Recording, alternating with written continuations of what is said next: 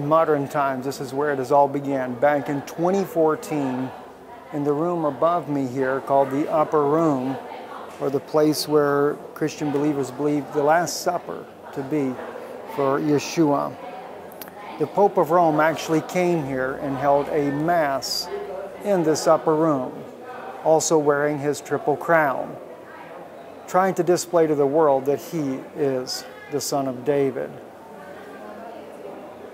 In this particular message here, the mystery of David, I want to share with you a very interesting passage by the prophet Obadiah.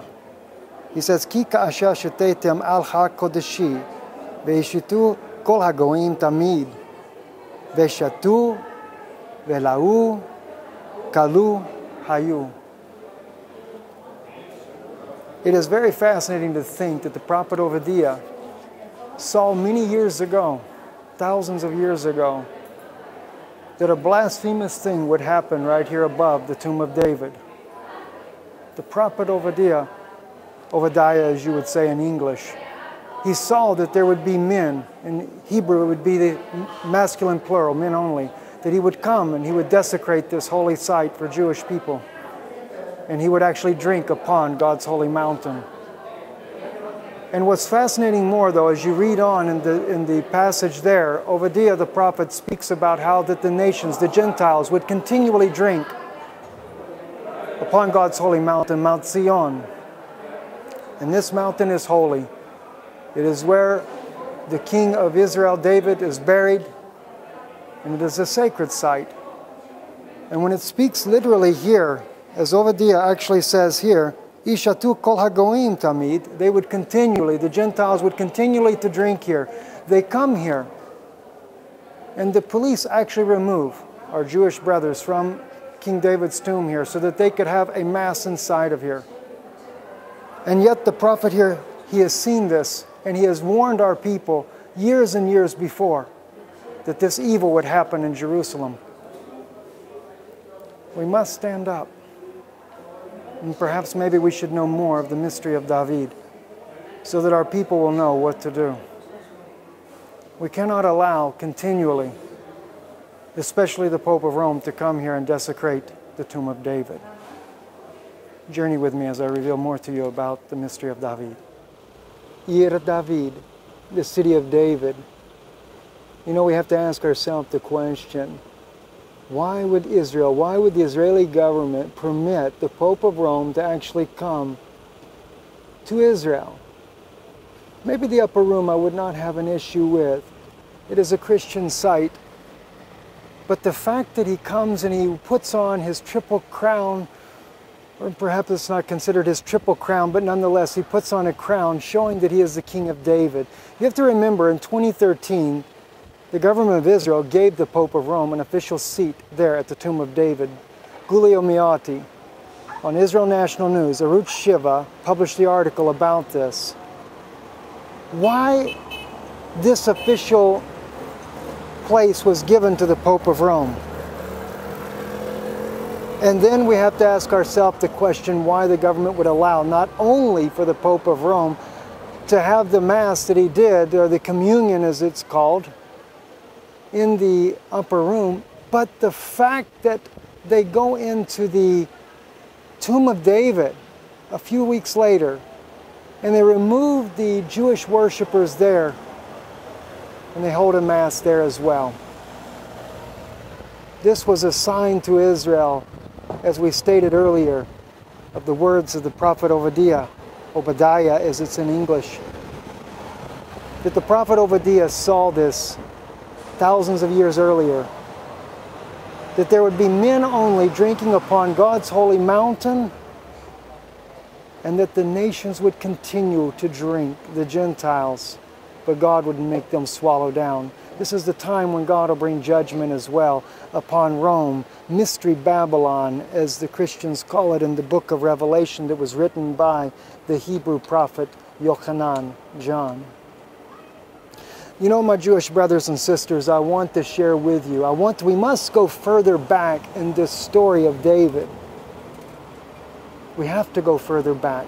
We have to examine as we look here and we can see plainly the, the momentous ruins that have been discovered here, even outside of the city of David, only proving the Israel, Israelite, Israelite presence here in this country. I want to take you on a journey that'll take you back during the times of these ruins and share with you what really happened. I think the mystery of David, we don't realize that the mystery of David actually is a sign to us as a Jewish people. A sign that has been completely overlooked. That's what I want to share with you now. Now we're here now on the Mount of Olives. Not the traditional Mount of Olives that you see that most of the Christians visit here, but we are actually really up here on top of the Mount of Olives that overlooks the old city. And this is the place when we're going to really look at the mystery of David and what is, what is hidden there that we don't know about. What is there that, that we might be able to glean from history to understand why has the Pope of Rome come to Israel and defaced the tomb of David, defaced the very name of David. Well, that story is actually hidden in Absalom. Even as we see his burial place here in Israel, in the Kidron Valley, the Kidron Valley right here behind me. So I want to take you back. I want to take you back thousands of years ago and as well consider the fact that history repeats itself. It's a wise old saying that we often hear, but it is very true, biblically speaking, that history often repeats itself. And as we go back and we look at Absalom, David's own son, who rejected his father as being the true anointed king and lifted himself up, then we begin to really get a picture of what is happening back in the past as well as even today. But let's go back even further. What, what got Absalom started to begin with? It was the defilement of his sister when the story really begins. His sister is defiled by his brother, and raped is really what happened to her. And Absalom, every right that one could have, was angry over what happened to his sister. So I don't, be, I don't hold that against him that he actually, his love for his sister and being angry that she had been defiled by, by, by Amnon. I don't hold that against him. But what happens is that we find that later, once Absalom, of course, David uh, banishes him from Jerusalem. He is angry at Absalom. He sends him out. Absalom leaves. But there comes a time where David's anger is finally appeased and he allows Absalom to return. Now, there's so many types in this, guys, it's not even funny. And I, and I to say for my Jewish brothers and sisters that, that may listen to this broadcast, I'm going to take you in all different types of directions and bear with me because truly the story of David is indeed a mystery that must be unraveled if we're to ever recognize who the Messiah is, to know who Mashiach is, the Mashiach that we are waiting for here in Israel. We must understand the mystery of David to be able to get this picture to pull together. So, Absalom, we know that he returns back. And that's kind of like Israel when she goes into exile into Babylon for 70 years and then returns again. God does have mercy, and David also has mercy, uh, who is a type of the Messiah, has mercy upon Absalom and returns him home. When he comes back, though, He's trying to gain favor with his father. Absalom wants to return to Jerusalem. And he has, Joab is a friend, that's also a friend with the king. And of course, Joab, we know the story, and you find this also in the book of 2 Samuel, uh, beginning, actually you need to, it's good to just recap the entire prophecies of this, but if you begin even with uh, chapter 14 and going into 15 there, we, we see so much that happens uh, with Absalom. But I want to pick it up where Absalom comes back. Now, and you go to the 28th verse in chapter 14, Absalom lived two full years in Jerusalem and did not see the king's face. This is after David has already brought him back. And, the, and it's incredible right there. And I'm going to talk to you, my Jewish brothers and sisters, and, I, and I'm begging you, I'm going to speak to you about Yeshua, who many of the Christians today call Jesus of Nazareth, or Jesus the Messiah, Mashiach. And I want to take some parallels, and I beg you, I want you to stop. Don't get angry and hear me out for what I have to say. So if we look back and we considered Yeshua himself, I want to also think about these things and meditate upon it and prayerfully consider before the God of Israel if these things could really be true. So we find out that Joab, or Absalom, he's gone for two full years, or he's in Jerusalem, but two full year, years he's out of the presence of the king. He's not even allowed to be seen. And yet, 2,000 years ago, on a hill here just to my left shoulder, the son of David, and I'm going to take it not, not in, a, in a positive, the son of David was killed, crucified by the Roman authority, but we have to share the guilt as well, my brothers. We did hand him over. The high priest handed him over for the crucifixion, so we share in this blame. But the Roman soldiers did hang him on the cross as far as the guys that did the dirty work. So, two full years, Absalom has been banished from the face of the king. Now, we're going to look at this. The shadows are going to go forwards and backwards. When Absalom then he wants to be able to see his father. He longs to see his father. And is that not the way it is today for the Jewish people? Is that not why you're gathered here to Israel? You're longing to want to see, you know, the God of Israel. You're wanting to see him face to face as he came down and made himself known to Israel 3,500 years ago when Moses came and delivered our people from the Egyptians? Sure we do. But here's where the problem comes in. All right? Now, I'm going to show you the type because remember, just earlier we spoke about over there at the tomb of David how that uh, the Pope of Rome came fulfilling Obadiah's prophecy, drinking upon God's holy mountain. Because there is a prince that shall come. Remember how Daniel speaks? He speaks about the Mashiach, he speaks about the anointed prince that comes, but he's cut off. But then he says there will be a prince that shall come and he will be of the people who destroyed the temple and the sanctuary, which was Titus, under the command of Titus, the Roman general. Now, I know the Syrians were involved in this as well, no doubt why Syria is being besieged today. And I have a feeling and a passion for the Syrian people that are caught up in these wars. I'm not justifying the war, but clearly they were involved, as well as the Romans. But Titus led the charge against our people and destroyed the city and the sanctuary. But Daniel the prophet said clearly that a prince shall come who would be of those people, a Roman. The Pope of Rome who came here, his family are Italians. He, his, his whole ancestry is from Rome. He is a descendant of Esau. He came and he drank upon God's holy mountain. And then the nations, the Gentiles, all the other churches that he had with him began to also hold communion services on God's holy mountain, which should never have been done especially in light that he put his crown on, to show that he is King Mashiach when he's not.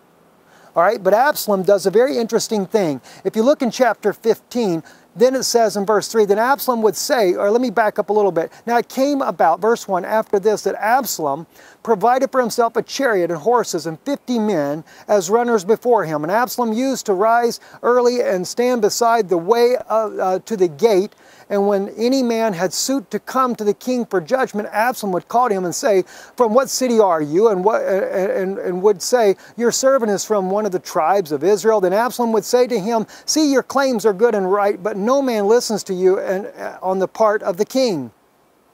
Moreover, Absalom would say, on, uh, Oh, that one would appoint me judge in the land, then every man who has any, has any suit or cause would come to me, and I would give him justice.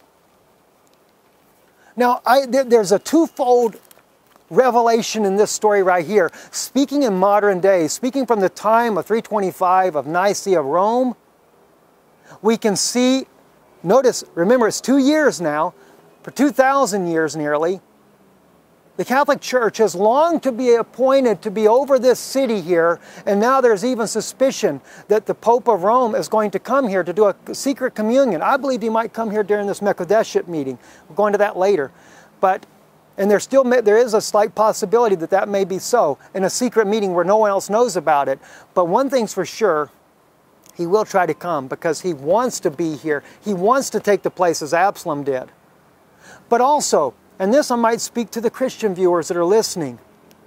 Doesn't the Pope of Rome try to tell you that there's no, you know, even though the Bible says that there's only one mediator between man and God, and that's the man Christ Jesus or Yeshua, Yeshua HaMashiach, but instead you have put this Pope of Rome in his place like Absalom, and now you are saying that, you know, he stands in the way of the gate. Didn't, it, didn't the Bible say that in the New Testament that Peter was given the keys to the kingdom? And now the Pope of Rome, the two keys on his flag, he holds the keys and he says he's the only one that can unlock the gate, but the keys actually apply to political and spiritual powers. He's trying to take control of the world. All right? Now, Absalom does this. But he says in his heart, then Absalom would say to him, see, after he says, he says, oh, that one would appoint me judge in the land. Then every man who, who has any suit or cause would come to me, and I would give him justice. When a man came near, he prostrated himself before him, and he would put on this, uh, and he put on this manner. Absalom dealt with all Israel who came to the king of judgment. So Absalom stole away the hearts of the men of Israel. My Jewish brothers and sisters, let me just say to you today that is happening again. The Pope of Rome is trying to steal the hearts of the lawless of Israel. And I might remind you, my Jewish brothers, in Daniel chapter 11, verse 14, Daniel, halfway through the verse, he speaks about the sons of the lawless. I know in King James, I think they call it the robbers of thy people, the sons of the lawless of your people. The angels speaking to Daniel, they will try to nasu, marry the vision. What vision are they trying to marry, my brother, sister? They're trying to marry, and I wasn't planning on this, but we got to bring it out, and then I'll come right back to David again. Let me turn over with you to Daniel, and let's take a serious look at what Daniel says here. Because Daniel, when we go over to Daniel, and let me first, before I jump over to chapter 9, let me read to you again. Uvane paratzi amcha, the sons of the lawless of your people, the angel says to Daniel. Inasu lahamid Hazon uh, shalu. They will try to marry the vision, but they're going to fall. They're going to fail at what they're trying to marry. But what vision is Daniel speaking of?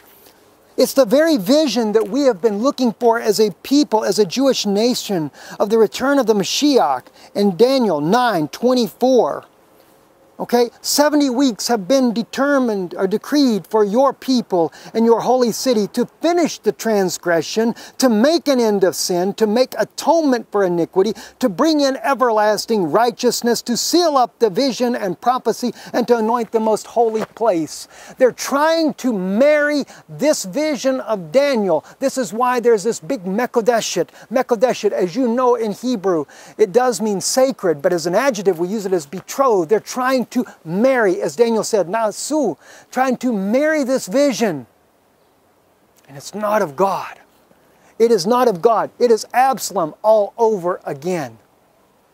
Absalom, like the Pope of Rome, is standing at the gates. And he doesn't want anyone to get in. Now let's go to back up. Let's really begin to look at this story here. I want to share it with you so bad I can't stand it.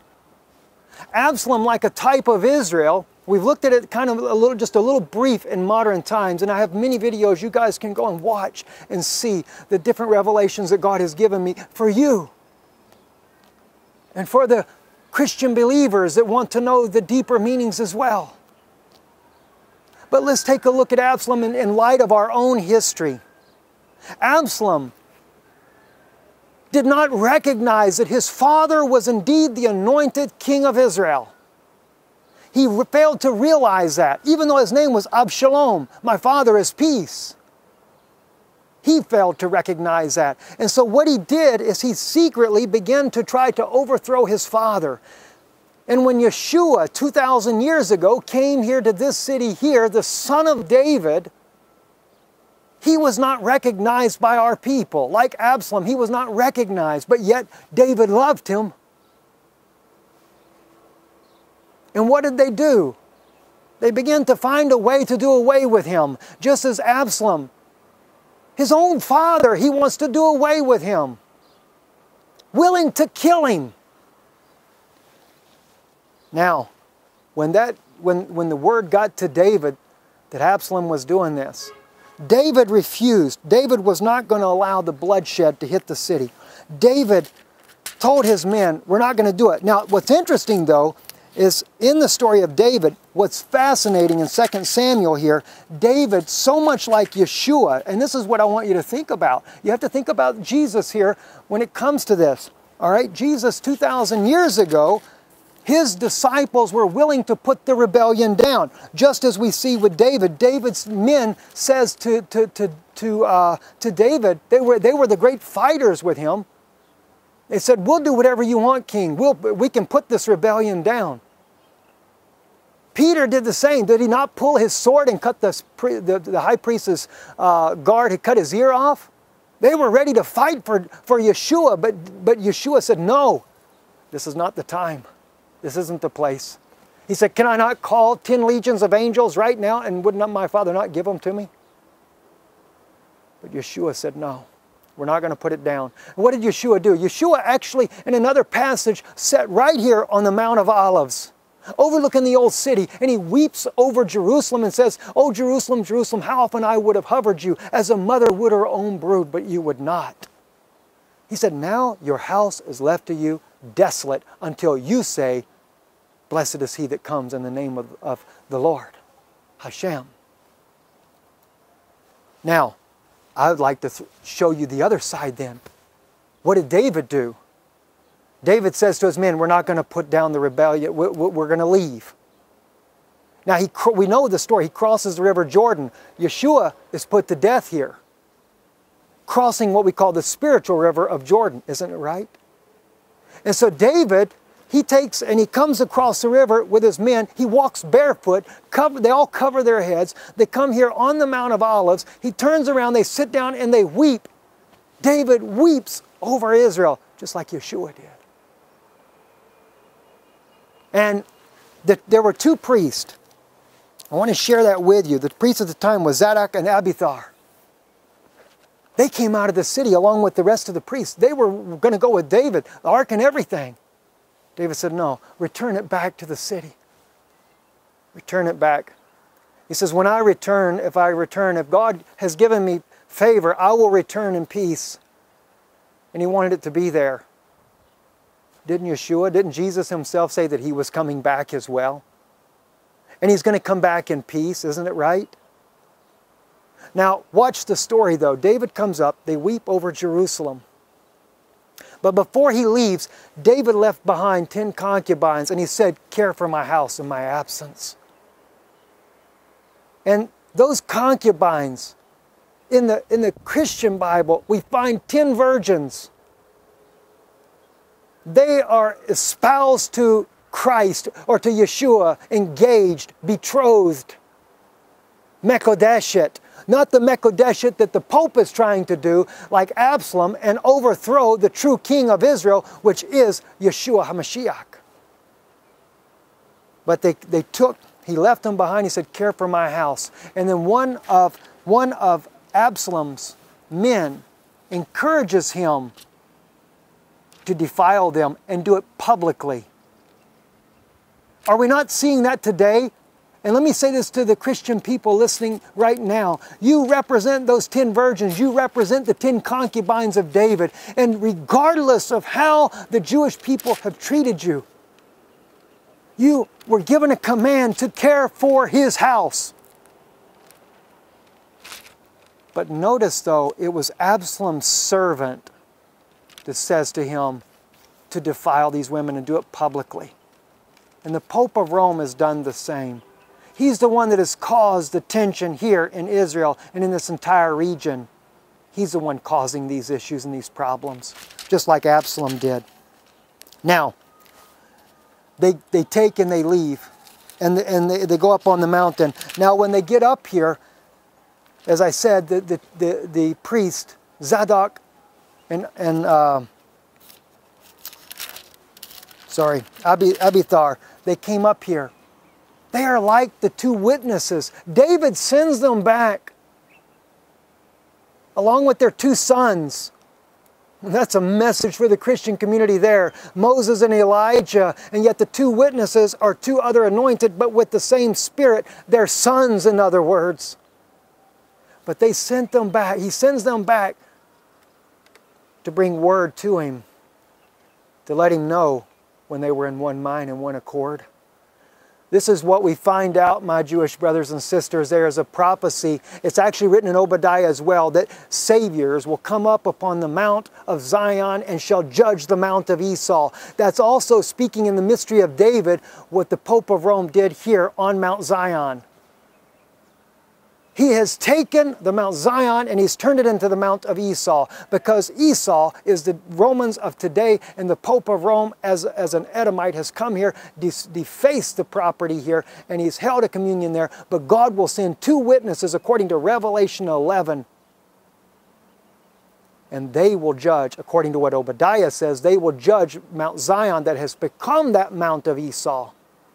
They bring judgment upon Rome. And as Revelation refers back, it's the two olive branches on either side of the golden lampstand that is written in the book of Zechariah. It is also what Daniel speaks about in chapter 12 when Daniel says, the angel says, seal it up. It's not going to be known until the end time. Well, you're living in the end times right now, and the book is being made known to you now.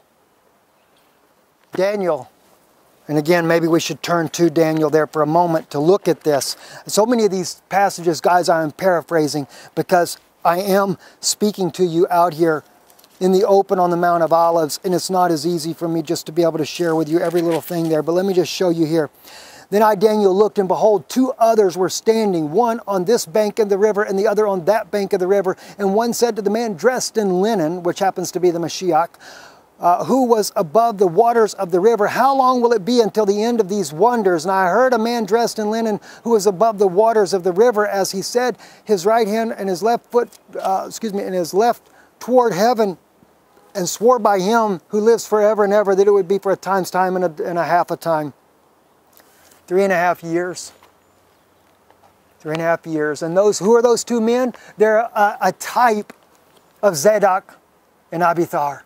They are the type of the two witnesses of Revelation 11 that will come and bring word to you of these very things that I even share with you now.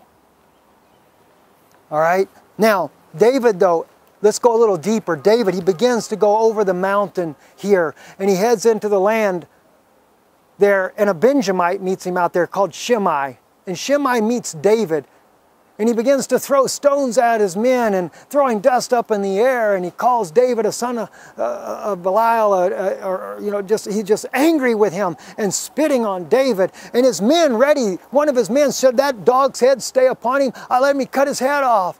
And David again said, "Don't do it." Just paraphrasing, "Don't do it." God has told him to do it. Now, why would Shimei do that? And why, the, the, the, odd thing is, the name Shimei to begin with, Shimei was a Benjamite. So let's go a little further back. As a Benjamite, remember the story of Joseph and how his brothers sold him out? You know, 30 pieces of silver Yeshua was sold out for, 20 pieces of silver was uh, Joseph sold out for. I know you know the story. But when they first come down, they don't bring Benjamin, his natural brother but the other brothers come. See, there has to be atonement, there has to be a reconciliation for sin. And if Daniel prophesied of it, you got to find out what sin you've committed.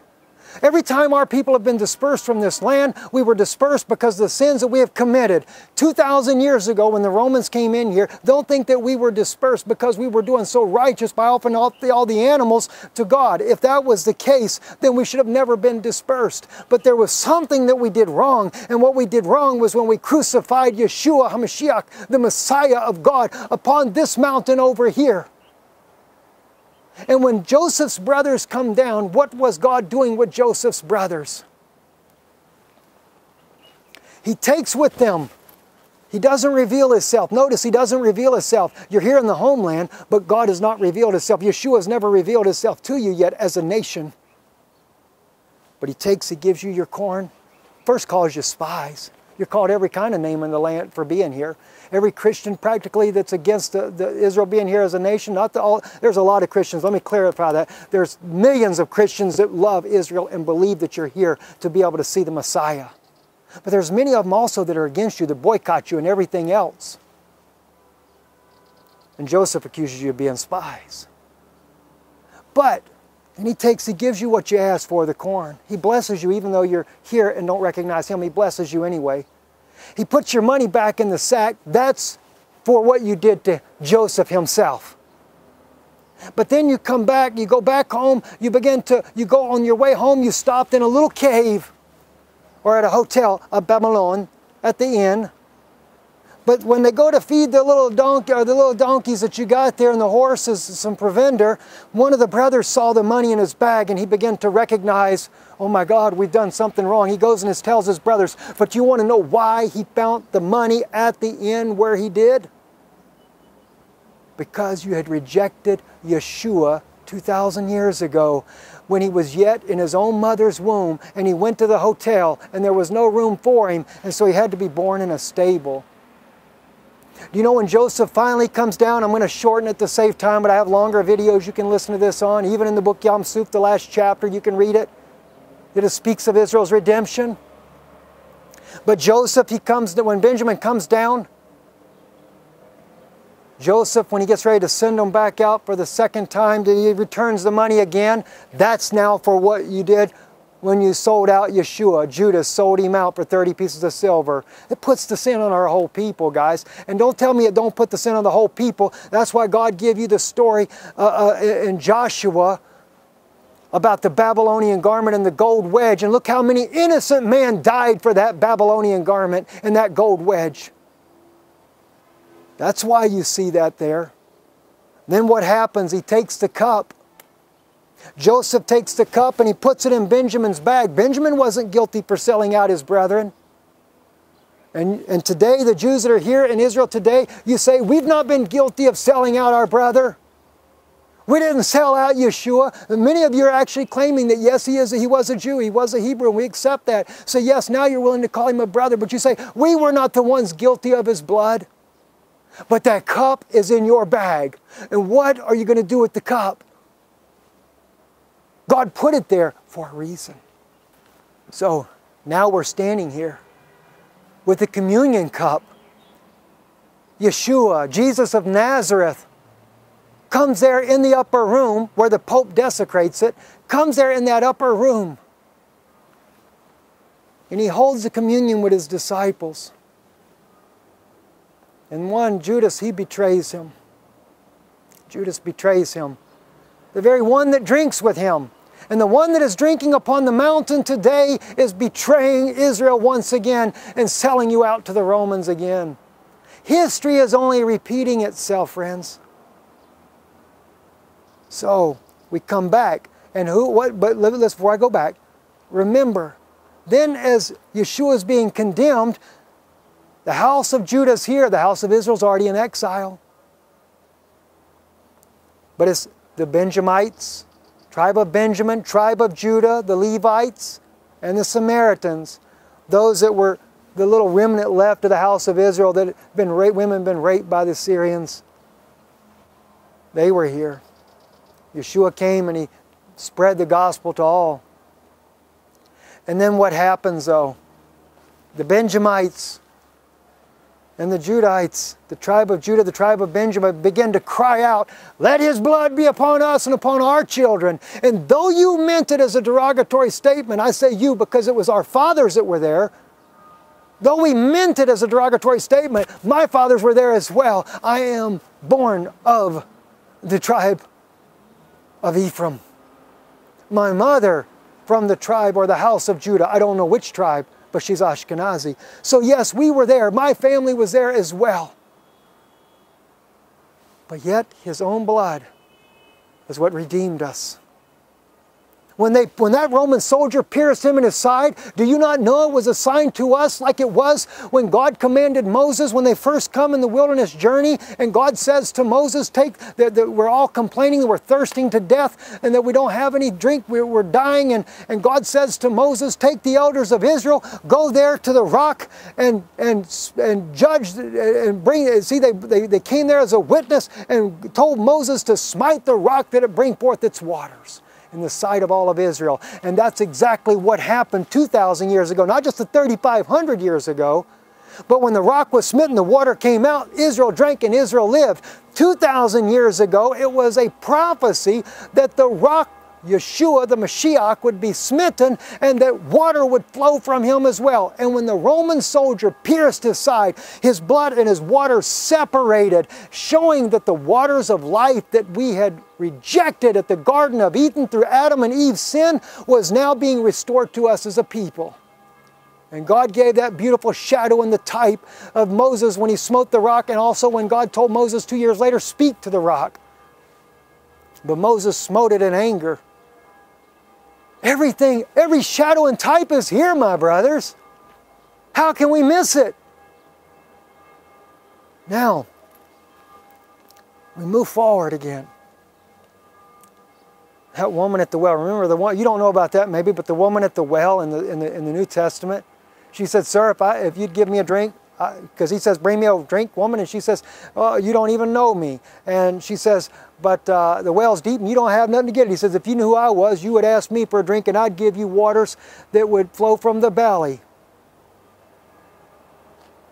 And she didn't believe him. But when, she, when he told her that she had five husbands and the one she's living with now was not her husband, then she believed him. That was a sign. Do you not know that even Rabbi Orli stated that the human body is just like the temple that's set right back here on the Temple Mount? And the Holy of Holies is where the human heart sits right there. And when you were offering those sacrifices and killing them, God wanted a pure oblation.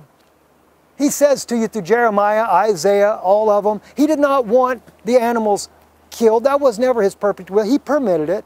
I grant it, I, I agree with you. He permitted it. Ezekiel tells us that in chapter 20 as well, the prophet Ezekiel. It was permitted. But God wanted a pure oblation from your heart.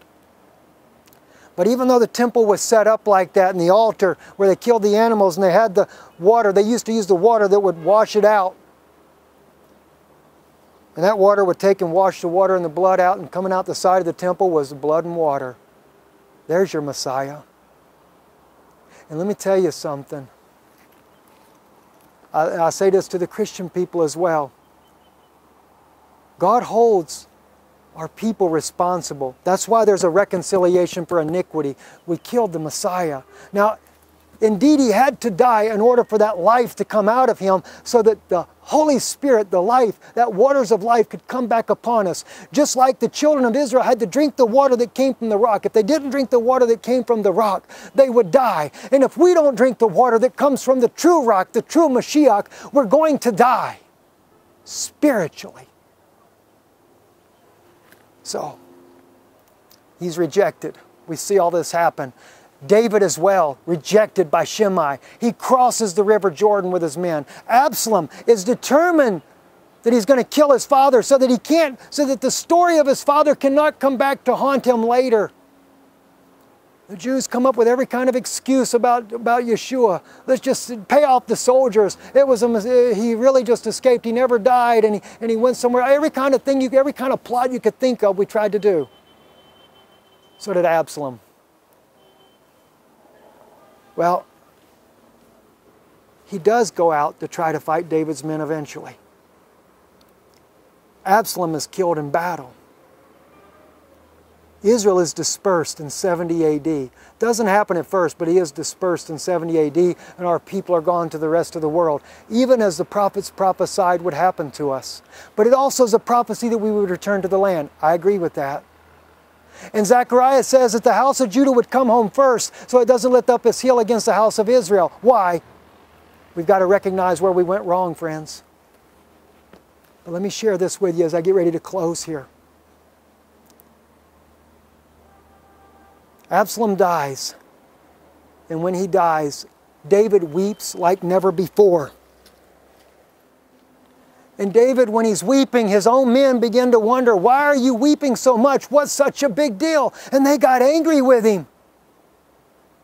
And when the believers of Yeshua, the Jewish people that believed that he was the Messiah, when they were weeping, what did you do? What did you do to Mary and Martha? You slapped them around. And what are you crying for over him? Then David, when Absalom, when the word comes back to David that Absalom is dead, David begins to weep and mourn over Absalom. Absalom's death is a type of 70 AD when Israel goes into captivity and the Romans And the Syrians come here and they besiege the city and they destroyed the temple and the sanctuary and they destroyed the city. You not know that that was a day of weeping, and David weeps so bitterly and wept so hard for his son. And finally, even his men said, You bring a reproach. This is the man that brought the rebellion against you. Why are you weeping for him like this? And yet, there's so many Christians today that even sit there and say, Why do you Christians love these Jews? They were the ones that crucified your Messiah. The ones that are saying that need to have their eyes opened as well. Not, you think the Jewish people are blind? Let me tell you something. There's more. There's so many Christians that are blind. It's not even funny. David wept over Absalom's death for a reason. Because he was a type of the Mashiach. And Yeshua also said here, and he wept over Jerusalem because he knew that they would be carried away. He knew that they would die. He said, Your your house is left to you desolate. Not only was their house physically here left desolate, but also the heart where he could not fill them with the Holy Spirit, that house was left desolate as well. And so David, just like Absalom, he wept over Jerusalem. I mean, he wept over, uh, David wept over Absalom because he loved him. He was a type of Israel that would reject their own father, Avshalom. His father is peace. They would reject, the 2,000 years ago, Jews would reject Yeshua. Now we come down, though. Zadok and Abiathar the priest there, there comes some meetings that happen with David. David is getting ready to come back. He's about ready to make his return. And I want to read to you about this a little bit. In chapter 19, verse 8, it says here So the king arose and sat in the gate when they told all the people, saying, Behold, the king is sitting in the gate. Speaking of David. Then all the people came before the king. Now Israel had fled each to his own tent, and all the people were quarreling throughout all the tribes of Israel, saying, The king delivered us from the hand of our enemies and saved us from the hand of the Philistines, but now he has fled out of the land of Absalom. However, Absalom, whom we anointed over us, has died in battle. Now then, why are you silent about bringing the king back? Remember, there's going to be a judgment the deliverers, the saviors, and Obadiah's last verse there says that they will come up and judge the Mount of Esau. The, the Edomites, the descendants of Esau that are running the Roman Catholic Church, will come under judgment one day, and it'll be the end of it. And these people, all these tribes that are dispersed, and it, that's just interesting, isn't it? Now, King David sent Zadok and Abiathar the priests, saying, Speak to the elders of Judah, saying, Why are you the last to bring back the king to his house? Since the world of all Israel has come to the king, even to his house, you are my brothers, you are my bone and my flesh. Why then should you be the last to bring back the king? You see, the house of Israel, it is true that many of them are Today, Christians believing in Yeshua. But did you notice, my Christian brothers, you're all quarreling amongst one another? If you're not part of this denomination or that denomination, you can't agree with anybody, can't agree with anybody else. You need as well those two witnesses to set it in order. But then David says to them, he sends Zadok and Abiathar, the two witnesses, to the priest saying to the elders of Judah, saying, Why are you the last to bring the king back to his house, since the word of all Israel has come to the king, even to his house? You are my brothers, you are my bone and my flesh. Why then should you be the last to bring back the king? Said Amasa, Are you not my bone and my flesh, my God, to do so to me? And more also, if you will not be commander of the army before me continually in the place of Jacob. Joab, excuse me. Thus he turned the hearts of all the men of Judah as one man, so that they uh, sent word to the king, saying, Return you and all your servants. Then the king turned and came as far as the Jordan and Judah and came to Gilgal in order to meet the king, to bring the king across the Jordan. Friends, that's what it is. Yeshua is coming back. The Messiah is going to return. But he's got to have the two witnesses, Zadok and Abiathar. Moses and Elijah to come and to get the house in one mind and one accord before he can do it. That's where we're at right now. And do you know who meets him down at the river? You know who meets him? It's Shimei. The very Benjamite that cursed him meets him down at the river. All right, so let me just share with you then. Let's go then to Zechariah the prophet. We're going to go to chapter 12. Now, what does Zechariah say? The Lord also saved the tents of Judah first, so that the glory of the house of David and the glory of the inhabitants of Jerusalem will not magnified above Judah. That's why you're here in the homeland. I don't care about the, the Rothschilds that bought land and, and all this Zionist things that are going on. There was a true reason for the remnant of Israel to come home. God only used the evil for good.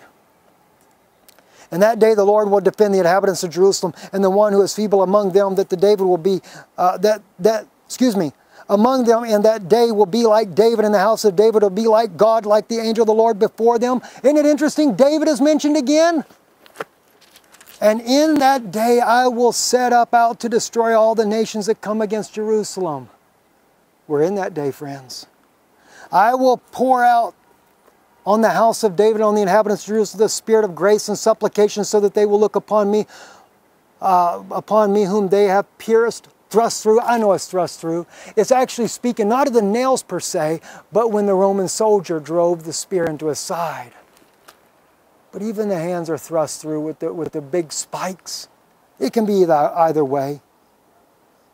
And they will weep bitterly over him the bitter weeping of a firstborn. In that day there will be a great mourning in Jerusalem, like the mourning of Hadadrimmon, and in the plain of Megiddo. The land will mourn every family itself, the family of the house of David by itself, their wives and by themselves, the family of the house of Nathan by itself and their wives by themselves, the family of the house of Levi by itself and their wives by themselves, and the family of the Shemites by itself and their wives by themselves all the families that remain, every family by itself and their wives by themselves, the Samaritans, the house of Judah, Judah, Levites, and Benjamites, just like in David.